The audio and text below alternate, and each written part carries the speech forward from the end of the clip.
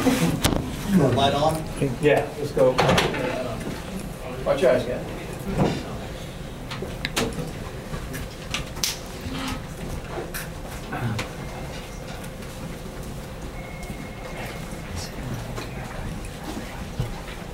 Everybody up and rolling? Oh, yeah. We're good? Yeah. Yes. Okay. All right, thank y'all for being here. So yesterday, on Memorial Day, at about 2:10 PM, um, our officer that was injured yesterday in the crash at uh, Westmore Pentagon, he is Senior Corporal Dale Ordogne. That is D-A-L-E. Ordogne is O-R-D-O-G-N-E. That's Dale Ordogne. Badge number 8727, and he is assigned to the Southwest Patrol Division. I'm Albert Martinez, Deputy Chief over the Southwest Patrol Division. It's common spelling with a EZ on Martinez. So yesterday at 2:10 p.m., uh, Officer Ordogne, or Senior Corporal Ordogne, was en route to a theft of a vehicle in progress, or as we call a UUMV in progress, at uh, Keyston Dan Morton. And as he was traveling southbound on Westmoreland, a white pickup truck came across the intersection. Uh, both vehicles collided. Basically, the front right quarter of the suspect vehicle and the officer's vehicle, front right quarter to left right uh, left front quarter. They basically bounced off of each other, which sent uh, Senior Corporal Dale Ordogne, sending Dale basically off to the side onto the grass and over the creek. What happened though, instead of him going down the embankment of the creek into the brush and the trees, there was a basically a 12 inch metal gas pipe which kept him elevated over the creek and he basically rode that over the creek. At that point when the momentum stopped and there was disbalance, his vehicle then came off of that pipe, falling 24 feet into the creek on its roof. From that impact, uh, Dale suffered obviously very serious wounds. To the credit of our citizens, they rushed down there to help him. Officers uh, were notified, the call came through, they rushed down there as well. But you see on the videos that many of you all have that the citizens were holding that vehicle upright on its side.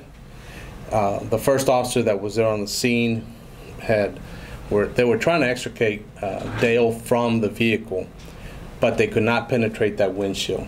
Plus, there was smoke starting from the undercarriage of the vehicle. So at that time, uh, the decision was made by the officers and the citizens to flip the vehicle, the patrol car, onto its wheels. From there, they were able to open the door, get Dale out of the vehicle.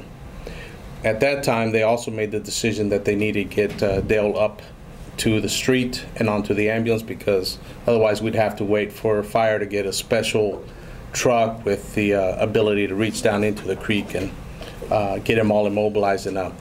So at that time, again, our citizens, our officers, and our paramedics worked together, got him out of the creek, and got him into an ambulance, and that's how we got uh, Dale to the hospital very quick. Uh, a little bit of information on Dale. Uh, he's been with the Dallas Police Department for 11 and a half years.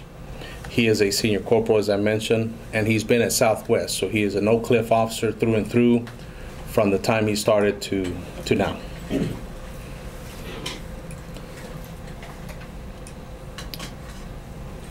Any questions? How's he doing?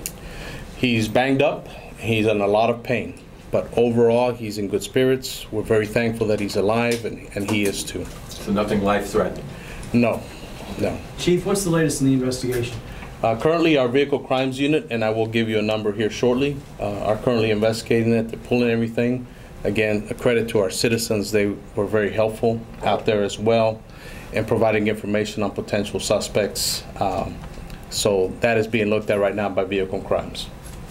What do you have to say to the, to the folks out there that help? Well, we, the Dallas Police Department, want to thank our citizens for what they did out there. Um, They came to us at a moment of crisis, and at times when we see the worst in humanity, this is a moment that they showed us the best of humanity when they came together. So we're extremely grateful for what they did. Chief, you have a problem with, uh, with those burglaries. How many do you think you can tie to these guys? Because we were out there yesterday, we're thinking more than 10, 12, maybe 13 robberies or burglaries rather. Well, we heard the same thing. We heard around 10 to 13 burglaries may be attributed to the potential suspects, but at this time, we haven't confirmed any of that.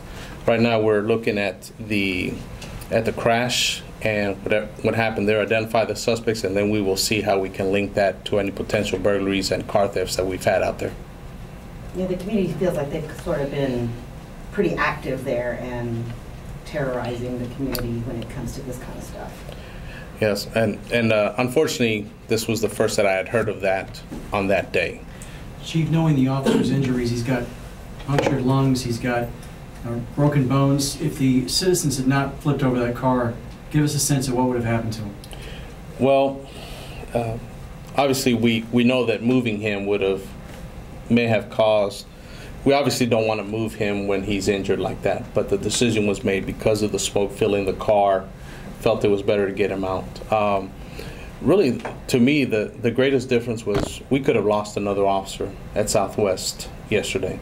And I'm very thankful to the citizens and, and all for us being able to get him out and get him to the, to the hospital.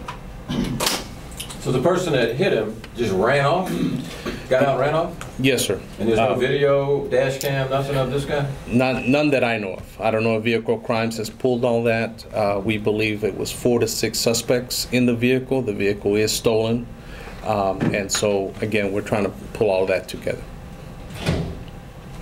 So let me give you the vehicle crimes unit, uh, vehicle crimes unit, uh, phone number.